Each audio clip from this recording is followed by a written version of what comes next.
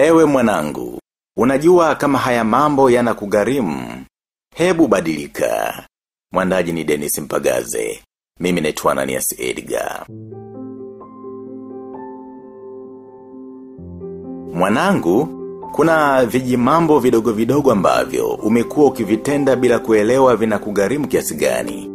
Mimi nakwambia kwa sababu wewe ni wangu. Wengine hawatakuambia. Watakuteta unapoondoka ndio maana wahenga wakasema, ondoka usemwe. Watakuteta unapopita ndio maana ukipita utasikia vicheko. Ukigeuka wanaocheka huwaoni. Naomba nikukumbushe viji mambo hivyo mwanangu, ili upate heshima kila wingiapo na utokapo. Jambo la kwanza ni ulaji. Namna yako ya kula inatosha kuonyesha wewe ni mstaarabu au mshenzi tu. Unatafuna na kuongea wakati mmoja, tena kwa sauti ya juu kabisa. Utadhani umeambiwa ukisubiri kumeza ndo uzungumze utaishi wa maneno.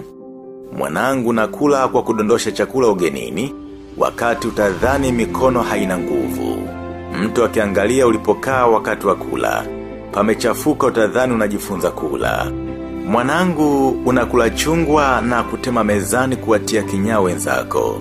Unatafuna ugali huku umeshikilia paja la kuku, na wakati umepewa kisosi cha kupumzishia nyama. Ukimaliza mnofu wako mifupa unachanganya na mate yako, na wakati mifupa hiyo hiyo wapo wanakusanya na kutengeneza supu wakauza kwa sababu. Nao ni washenzi. Yaani mwanangu, unatutia aibu sana, utadhani ni mtoto wa nguruwe. Mwanangu, tabia yako ya kuchukonoa meno na kijiti mpaka kijiti nacho unakitafuna baada ya kumaliza kula, inakufedhesha sana. Unashinda na kijiti mdomoni siku nzima, ukijichokonoa nyama ya supu ya ofa. Unaingia na kijiti hicho hadi ofisini au darasani. Unapewa chupa ya maji, unaivuta kwa nguvu hadi mdomoni. Huku ukiifinya na kutoa kelele utadhani, una mwaka mzima hujanywa maji. Kwa nini unafanya hivyo mwanangu na wakati umepewa glass? Mwanangu kila ndizi unatupa maganda barabarani na wakati kuna dustbin. Ukitafuna karanga unarusha maganda hovyo. Tafsiri yake ni kwamba wewe si mstaarabu kabisa. Hivyo hufai kukaa meza moja na wastaarabu. Jambo la pili ni uvaaji wako. Mwanangu unavovaa tu ni mazingaombwe matupu yani. Sasa unapovaa vazi la kuogelea kanisani unategemea nini? Unakwenda kwenye interview huku kila kiungo kimepuliziwa aina yake ya perfume, halafu unategemea kupewa kazi. Hau. Hivi, unafahamu kama ulivyoingia kwenye chumba cha interview, kuna watu waliishiwa pumzi kwa sababu ya mchanganyiko wako wa perfume. Haya ni mambo madogo sana, lakini athari zake ni kubwa. Kila baada ya siku mbili unataka uingie ofisini na aina tofauti za visuko tena vya gharama. Sawa, najua mwanamke nywele, lakini kumbuka kabla hawaja kupandisha cheo na kukupa majukumu makubwa. Watahofia kama utapata muda wa kupiga kazi ukaacha kwenda kusuka. Ondoka usemwe. Jambo la tatu ni uzungumzaji. Ni katika uzungumzaji hapa napo wengi ni chenga tu. Unataka uzungumze wewe tu, kila kitu hata kama hujui unataka uchangie.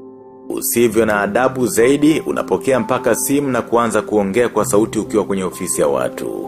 Wanakuchora tu. Sasa usivyokuwa na akili, unakata mazungumzo na bosi wako, au mchumba wako, au baba yako, au mtu wako wa karibu, ili ujibu chattings zinazoendelea kwenye grupu lako la primal. Yaani bosi wako anaongea, wewe unabaki kuitikia tu mm. Eh, hata pasipohitaji jibu hilo. Hapa lazima upishane na watu makini. Kama ni ofisini hutopanda cheo ngo kwa sababu, tabia mbaya ni sawa na tairi lenye pancha. Haliwezi kwenda popote mpaka libadilishwe. Sasa kama the smarter you get, the less you speak. Automatical kuongea sana ni kinyume cha kuwa smart. Jambo la nne ni swala la muda. Utunzaji wa muda, hapa napo wagonjwa ni wengi. Vikao vyote kuanzia vile vya harusi mpaka vya ofisini na mabosi wako unachelewa. Yaani unachelewa mpaka appointment ulizopanga mwenyewe. Kwa tabia za namna hii mwanangu, utaishia kuwa chini ya mtu mpaka unastaafu. Yaani unachelewa kila mahali. Unachelewa mpaka mazishi halafu unategemea watu wa kuheshimu. Thubutu. Yaani kila unayemwambia utampigia simu baadaye, lazima ahesabu maumivu. Maana hutupiga. Yani unatupiga saundi hadi sisi wazazi wako tuliokuzaa. kumbuka wahenga walisema, waheshimu baba na mama yako uchelewe kufa. Jambo la tano ni uandishi wako. Namna unavyoandika inatosha kukuchora ulivyo. Yaani mtu rafu au mtu makini. Unaanza kuandika jina la mtu kwa herufi ndogo, unaandika sentesi haina kituo. Unaanza sentesi kwa herufi ndogo halafu unategemea watu makini watakuchukuliaje. Unaandika barua haina kituo. Tarehe wala sahihi halafu unategemea ujibiwe. Hapo utawapa shida wafagia ofisi kuichoma tu. Ukiandika Kiswahili hakieleweki. Kizungu ndo bala tupu yani, unakuwa kama popo. Hajulikani ni mnyama au ndege. Mtu akitembelea ukurasa wako anakuta matusi tu. Tafsiri yake ni kwamba wewe si mtu makini, hivyo hufai kukaa meza moja na watu makini. Sasa mwanangu, naomba nikuachie amri hizi kumi, zitakusaidia kuwa muungwana. Namba moja, ukichukua kitu toka mahali fulani kinapotakiwa kukaa. Jaribu kurudisha sehemu ulipokitoa baada kutimiza hitaji lako. Hata kama ni kitana, kikombe, au dekio kiweke sehemu ulipokitoa. Jizoeshe hivi, inajenga tabia ya kuwa makini. Namba mbili, ukikopa pesa rudisha kwa wakati ulioahidi. Endapo umekwama basi jaribu kuwa muungwana mwanangu. Jieleze kwa muhusika kama ulivyojieleza wakati unakopa. Kukaa kimya huku najua umeahidi kitu mpaka ukumbusho ni utapeli. Namba tatu. Ukiazima kitu kama kitabu, kiatu, gari, pikipiki, nguo, kompyuta au redio kitunze na ukirudishe katika hali ile ile kama kilivyokuwa wakati unapewa. Kirudishe mara umalizapo hitaji lako. Kujisaulisha ni tabia ya hovyo sana mwanangu. Unamkwaza mwenye mali hata kama mmezoeana vipi. Hata kuambia tabia yako mbaya, atawaambia wengine. Ya kufikie, unune, urafiki, ufe. Namba nne.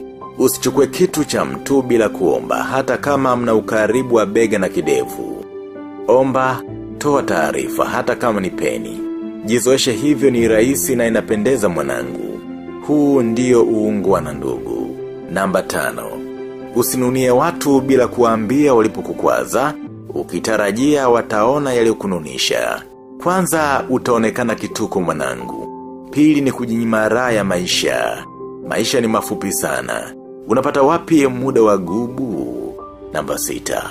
Unapotoa ahadi ya kukutana na mtu, hakikisha unamjulisha muhusika endapo utachelewa au hautafika. Fanya hivi mapema, na endapo utashindwa kutoa taarifa. Hakikisha baadaye unamjulisha muhusika sababu za kutotimiza ahadi au kutotokea. Akikuwa heshimu atakuuliza. Akikuwa na kenge hatakuuliza kitu mwanangu. Namba saba. Ukitumwa kitu na chenji kabaki, rudisha kwa muhusika. Kukausha na chenji ya watu si tabia nzuri hujui bajeti ya mtu aliyekutuma. Namba nane. Unaposemeshwa na mtu weka simpembeni umsikilize. Kujifanya unamsikiliza huku mikono na macho vikobize na simu ni ishara ya dharau. Ni bora uombe samahani, umalizane na simu kisha umsikilize kiungwana. Namba tisa. Unapokuwa kwenye mazungumzo na simu ikaita, omba radhi hata kwa ishara. Ama mjulishi muhusika kuwa unapokea simu. Ni kitu kidogo sana lakini chenye maana kubwa mbele ya uliyenaye hapo. Namba kumi. Mwanangu kamwe usile bila kuomba, ukaja kula na shetani. Mwanangu kamwe usilale bila kuomba, ukalala na popobawa. Mwanangu usitoke kitandani na kwenda uendapo bila kuomba siku yako ikajabala. Mengi yamo kwenye vitabu vya mpagaze, ukombozi wa fikra na wasomi huru gerezani. Mpigie kwa namba 0753 66 54 84. Akuuzie maana vya bure viko mtoni. Mwandaji ni Denis Mpagaze. Mimi naitwa Ananias Edgar.